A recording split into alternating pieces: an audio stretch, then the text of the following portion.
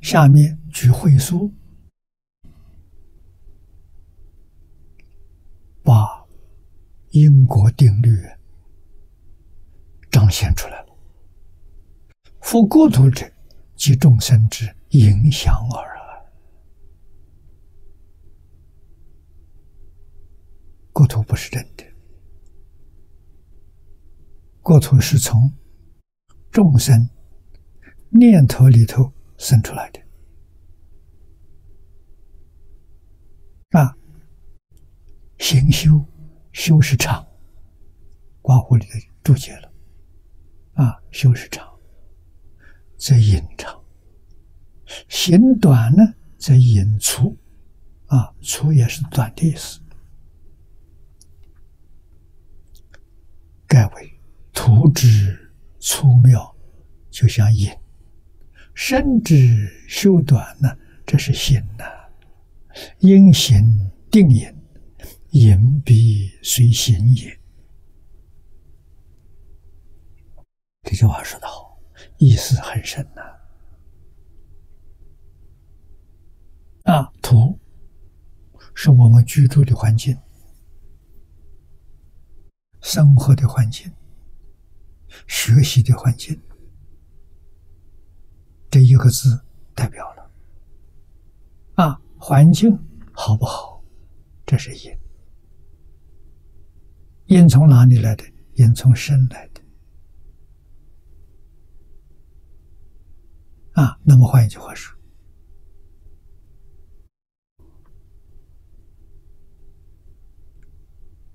生。啊，这身代表念头啊，念头善，环境就好；啊，念头不善，环境就不好啊。那我们看到，现在有很多念头不善的人，做大官发大财；念头很善的人，贫穷潦倒。啊这不是跟因果相反了吗？不是的，你好好去念念《太上感应篇》，你就明白了。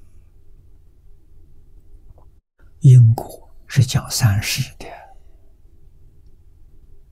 啊，特别的大善大恶，当下就有报，就有果报，啊，不是特殊的善恶。那就是一般正常的报应，我们这一生受用的果报。因是什么？前世造的善恶啊，今生造的善恶呢，是来世有果报，感到来世啊，特别强烈的就变成现世报啊，你有特别大善。啊，救国救民是大善呐！啊，这个善不等到来生，现在就报了。啊，中国人讲五福：大富大贵，啊，身心健康，长寿，儿女众多。现世报啊，普通没有那么大善，为了个人的啊，这小善，这都是报在来世啊。无论是善是恶，都报在来世啊。只有大善大恶，感得先前的报应。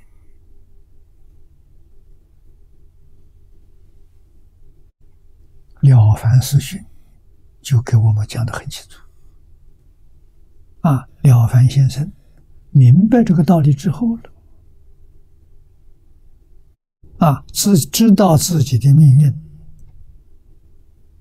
很普通。啊，是一个读书人。啊，考取的功名上层的，是下层的。啊，上层的是进士，中等的是举人，下等的是秀才。他一生只有秀才的命。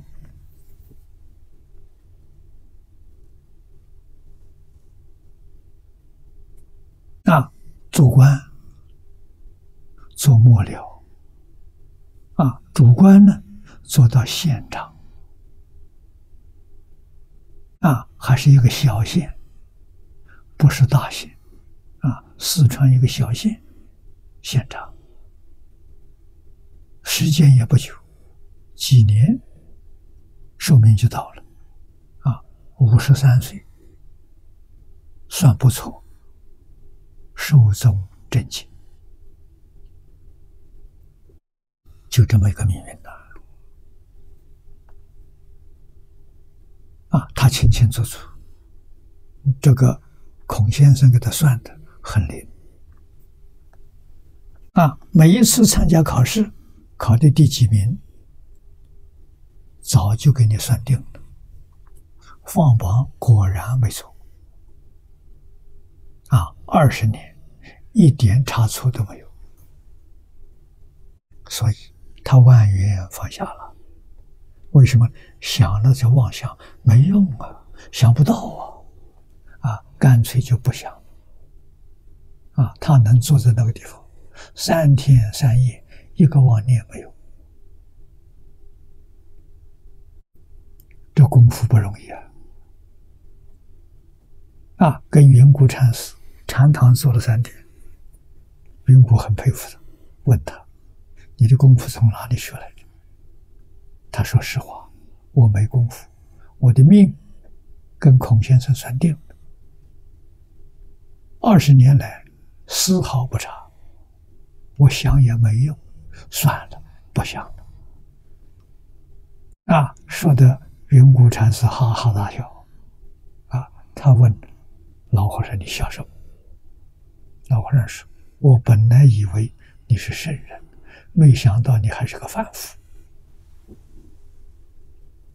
啊，他就问了：为什么我还是凡夫？老和尚把因果报应这个事情理给他讲透了，讲明白了。相由心生的啊，你相信命运，没有善念。也没有恶念，所以你那个命的时候是算的非常准确。如果你有善恶念，就改了；那有善念的时候，就就正上了，变好了；有恶念就变坏了。你二十年完全没有变，谁叫他标准反复啊？啊，这个命运可以变，当然可以变。为什么可以变？命是心造的啊，所以他就念头就活泼了啊。问他怎么造，老和尚教他转恶修善，你命运就转了啊。他很听话，回去真干，发愿修三千桩善事啊，做善事记下来。十年，十年三千桩善事做完了，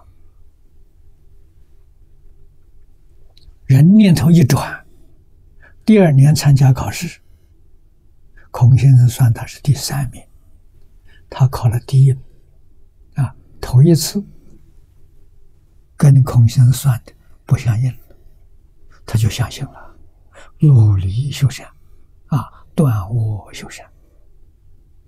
啊，太太也跟着断恶修善，啊，没有举人的命，参加去考考考中；没有进士的命，参加考进士也考中。啊，命中没有儿子，他求佛，行善积德求佛，生了一个好儿子。啊，这一个儿子帮助他，好像生了六个孙子，家境就旺起来了，一直到现在都不衰呀。